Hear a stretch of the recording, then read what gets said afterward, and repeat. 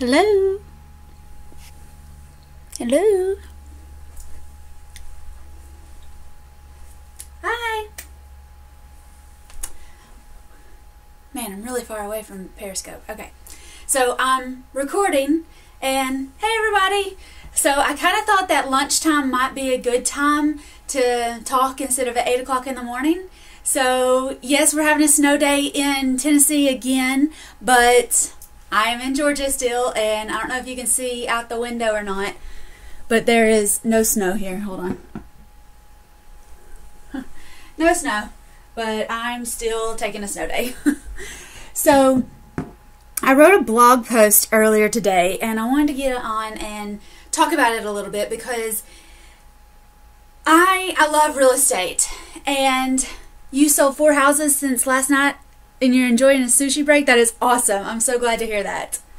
Um, so, see, real estate is fast. If you can sell four houses since last night at midnight, it is fast. I don't know why people think real estate is so slow, and I don't know why people think that you need $100,000 to get started in real estate when all you really need is a good sales pitch and some activity. Because once you get just a smallest bit of activity, then it just starts to snowball for, for more snow terms. Okay, so what I was talking about on my blo- uh, blog article, and I'll I'll try to post it later tonight, is that if you have a house, if you live in a house and you have a mortgage on it, and you know, let's say you have a medium sized payment on it people tell me all the time that they want to be real estate investors. They want to, you know, buy houses, they want to retire and be a landlord, they want to do all this great stuff and they're just needing to get started. But when I talk to them, they're like, "Oh, by the way, we sold grandma's house." I'm like, "Why? You had a house. Why did you sell it? Why would you sell something that you've already you know, either paid off so it's free and clear so you're straight cash flowing every month, or even if you've had a house for 10 or 15 years and it doesn't suit you anymore, then why not rent it? It's so easy. In my neighborhood in Tennessee and where we live in Georgia, we cannot get enough good rental houses. Absolutely. If you're selling something, then you're a one hit wonder. You're going to get money on it right now. But then what are you going to do with that money? You're going to redo your house, which is not bringing you any money. Uh, I spoke on a blab yesterday that Robert Kiyosaki says your house is a liability. And you know, you can list it on the spreadsheet as an asset if you want to, but an asset makes you money. So unless you have rented out your primary residence, then it's not an asset, it's a liability. If you are the only person responsible for making that payment, it's a liability. And that's, you know, that's not me, that's Robert Kiyosaki. And he has more, you know, real estate investments than I would ever know what to do with. So actually, I know exactly what I would do with them. I would retire off of that income. No problem, done. But anyway, so if you have a house if your mom has a house, if your grandma has a house, and it's free and clear, I understand that you know you throw these dinner parties and you have this realtor friend and they really need to get you know 10 listings this month so that they hit their numbers. They don't care if they sell it or not. They need you know their broker pushes them to get x amount of listings so that potentially they'll get x amount of sales right? Well you're at this dinner party and you're talking to your real estate buddy who kind of dabbles in it and they don't you know it's not their full-time job they're not an investor they have a real job they do real estate on the side or maybe they sell one or two houses a month but they're not heavy heavy heavy in real estate real estate real estate. They convince you to list your house and then you know you get excited, your kids get excited, you go out, you start looking at houses, you're going through every open house on Sunday, and then, you know, suddenly you found a house, you made an offer on it, and the paperwork just goes, and, you know, a month or two later, boom, you're in a new house, you've sold your old house, awesome. Except your ultimate goal was to become a real estate investor. So if your ultimate goal is to become a real estate investor, don't sell that house. Keep that house so that you can start your portfolio. Start with one house. Start with the house that you already own. You already paid all of those origination fees. You already paid down the mortgage. You've already paid down the interest. Don't start fresh on something else in a neighborhood that you don't know. You know, you know this neighborhood. You like your neighbors. You want the neighborhood to grow and succeed. So why don't you start renting your house? You got to start somewhere. You absolutely have to start somewhere. And if you're already in a good neighborhood, you have a three bedroom, two bath house, which is what everybody wants to rent, rent it. And if you don't want to fool with it, cool. You don't lose any closing fees, exactly. You don't have any origination costs. You've already got this house. You've already gone through the worst part of buying a house. You should rent it. From now on, just rent it. And I say that because you start renting yours, then when everybody in the neighborhood, instead of selling and then everybody kind of goes through this, uh, oh, I don't know who's going to move in. What if the neighborhood goes down because of this one house? Well, the neighbors will start calling you. Hey, I know them. They'll take good care of the neighborhood. They'll do this and that and the other. And then you buy another house in that neighborhood. And then you buy another house in that neighborhood. And, you know, you, these are your friends. Maybe you can work an owner financing deal on it so that you don't have to buy it. Uh, you, you know, they've got it free and clear. They just want the monthly payments. Owner finance from your neighbors. You don't always have to go out and hunt and find new sellers all the time. Just get a good rhythm going so that everybody knows what you do. Owner financing is absolutely fabulous. Lease options are absolutely fabulous. And it won't take 30 years to build up a real estate portfolio if you're doing owner financing and lease options. Okay, it took me, you know, two years to get 12 houses, three apartment complexes, and I think we have like eight or nine acres of just random vacant land around town. I don't know. I'll probably need to count that at some point. But we bought it for little to nothing. We rent it for, you know, a little bit of money. We pay the taxes on it and it's done. Now, I know you're telling me that, yes, you want to be a landlord, but you don't have time right now to manage the property. You are afraid people are going to go in and destroy it and blah, blah, blah, blah, blah. Well, let me tell you that I am 31 years old. Just going to tell you that. I'm 31, okay? And my friends have bad credit and good jobs. My friends have student loans and they want to start a family. My friends that I run around with, I preach all this real estate to them all the time and they don't listen to me. So, you know what they do? They rent three bedroom, two bath houses in good school districts from good landlords. They are good tenants. They love technology, so they make all of their payments online. They set it up to automatically draft. Um, yes, they're probably annoying. They're probably going to call you because they don't know how to unclog a toilet. You may have to go over there and unclog the toilet for them, or um, have Roto-Rooter get the you know grossness out of the sink for them. Yes, that's true. Um, they're probably really lazy, and since they've been living in apartments for so long, they expect the yard to stay mowed. They expect the flowers to be pretty. They don't want to do anything but live there and pay the rent.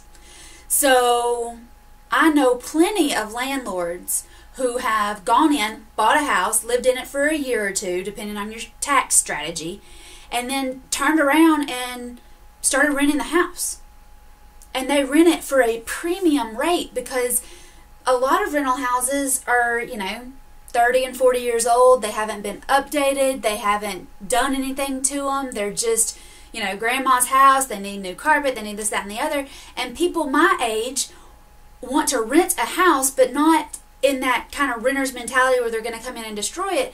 They want to rent a house that's going to be theirs for the next five or 10 years until they can clean up their credit. I mean, they're going to be there long term. They don't want to admit it, but they are. They're going to be there long term.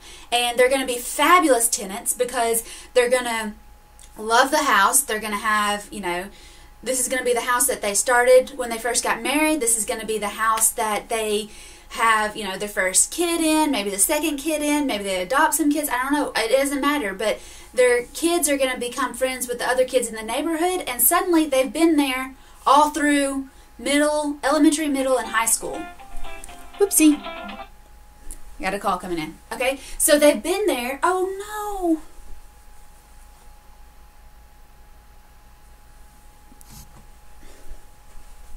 I lost my periscope. I a phone call.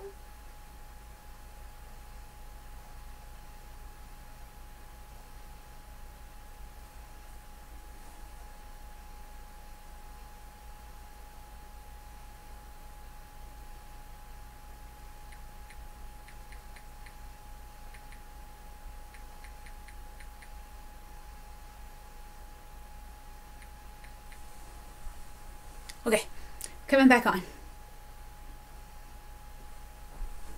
I'm so, so sorry. I am so, so sorry.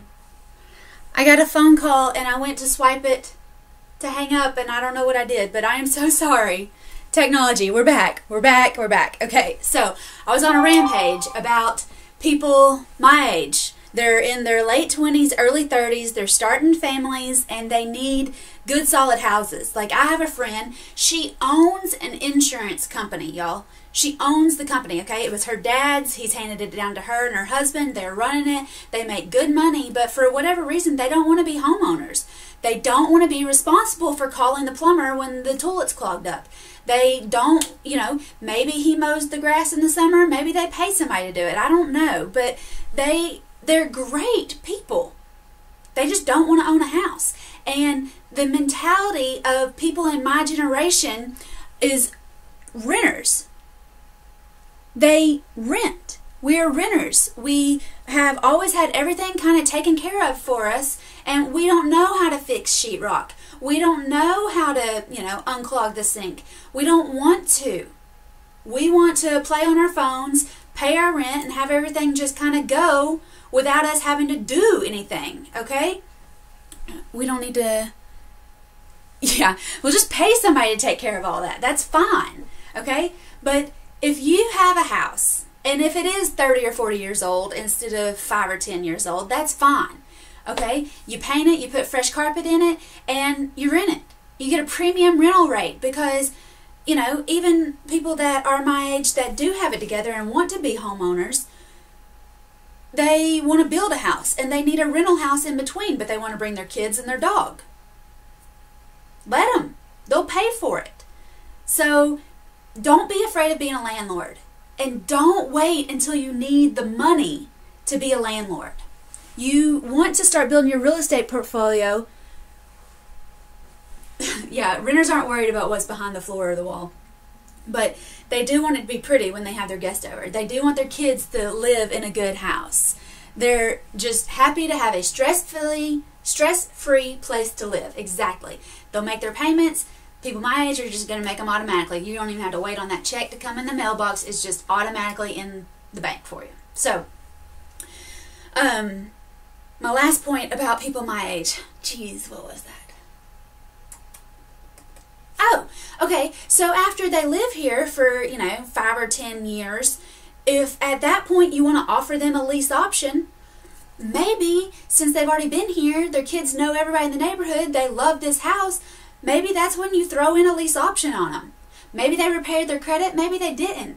But they've been making you payments for five or ten years. You already kind of have a relationship with them anyway. Why not let them put ten or twenty thousand down and owner finance it to them, or give them a lease option on it? Start renting the houses that you already own. That that's what I want to tell you. I read an article earlier this week that said, you know, buy a house and rent it.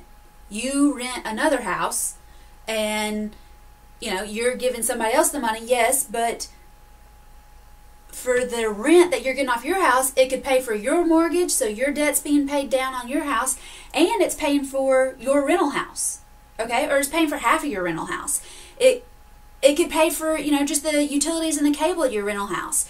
But it's also paying down your debt so that in five or ten years you can go out if you want to do it traditionally and get another mortgage on another rental house. That's how you build a real estate portfolio. Do not wait until you're 60 to start spending your retirement money and buying houses and getting into it then. Start now, today. If you're 25, get into it. If I can do a scope on lease options, yes. Um, if you're 25, get into it. If you're 30, get into real estate. If you're 55 and you're thinking about retirement because it's in, you know, five or 10 years, start buying real estate now. Start doing lease options now. Start doing owner financing now. Go out and buy a vacant lot for 1500 bucks and start renting it now. Okay? Don't wait to buy real estate. Buy real estate and wait. So, um, I have somebody just asked me about lease options. I love lease options. I put two videos up on YouTube today about lease options, talking about, you know, pros and cons and what's cool and what you say and what you do. But lease options are absolutely fabulous, and a lot of people do not work in lease options. I would say there's a very small minority of investors and realtors in your area, wherever you are, that focuses on lease options. So if you can be that one person, that go to person for lease options, perfect. You're in, you're out, you have a niche, and you're ready to rock and roll and get to the get to the good side of real estate investing. So um, my YouTube channel, I think it's just youtube.com backslash Whitney Nicely. I know you can go to whitneynicely.com and I've got a little link to yesterday's Periscope there, but it'll take you also to my YouTube channel. But if you just type into the search bar YouTube and Whitney Nicely, then it'll get you where you need to go. And again, I forgot to introduce myself. Um, well, this one I got hung up on, but I am Whitney Nicely. I am a broker for Whitney Buys Houses. We are in Tennessee and in Georgia, and that's where my lovely accent comes in and I'm also a real estate auctioneer. So I'm currently looking for million dollar plus lake houses, 100 acre tracts of horse farms, anything. Oh, great. Hey, Nashville. um, so I know this will work in Tennessee because I'm in Tennessee and it's fabulous. Well, I'm in Georgia today because it was too cold in Tennessee. But, um, okay, so broker and auctioneer. If you need more information, y'all, I was swamped yesterday. Um, with emails and coaching clients and all sorts of people had really great questions for me yesterday. So my email is info at whitneynicely.com. The website is whitneynicely.com. I am working on more periscopes and uh, yesterday I told you about a meeting that I had with some investors in Atlanta. And so yesterday afternoon I just because my mom raised me this way. I sent him a quick little thank you email, said, Thanks for, you know, spending some time with me. I hope we can work together. Short and sweet, straight to the point, and all three of them replied back at some point last night and said, Yes, we are going to work with you. We're trying to figure out now how and what we're going to do, but we do plan on working with you. So I was really excited last night. It was fun. Uh, so make sure you follow up, send those emails if somebody gives you, you know, their time follow up with them. Say, I really appreciate it. Let's get together. Maybe if this doesn't work, keep me in mind. And then, you know, every so often, if you don't hear from them in a week or a month, maybe you drop them another line. Hey, I'm still here. Um, you know, I've told everybody about how great our meeting was. What can I do to help you? Always be helping. So, um, let me know if you have any questions. If you want to do any coaching, I am starting group coaching in February, and and there's a dog outside, so Abby the Labby is going crazy. Um, group coaching, and I only have five spots available for that. So if you want some coaching, let me know. And as soon as those five spots fill up, it'll be March before I have group coaching again. But we can always do one on one and start one hour a week, one on one. All of that is at whitneynicely.com. And it's another dog walking by. That's why she's going so crazy. But uh, let's see. Do I have anything else? Oh, God has just opened the doors wide open for me this week, and I know that's what it is. And I'm really excited. 2016 is going to be fabulous. So um, that's that's what I have for you today. Uh, check back with me tomorrow. I We'll have hopefully even better news tomorrow, but I'll also be in Tennessee. We're going to look at lake houses. Uh, I got two on the list right now, and if you know anybody with a lake house on Douglas that they want to sell, send it to me. We'll be looking today. So, thank you. Appreciate your time. WhitneyNicely.com.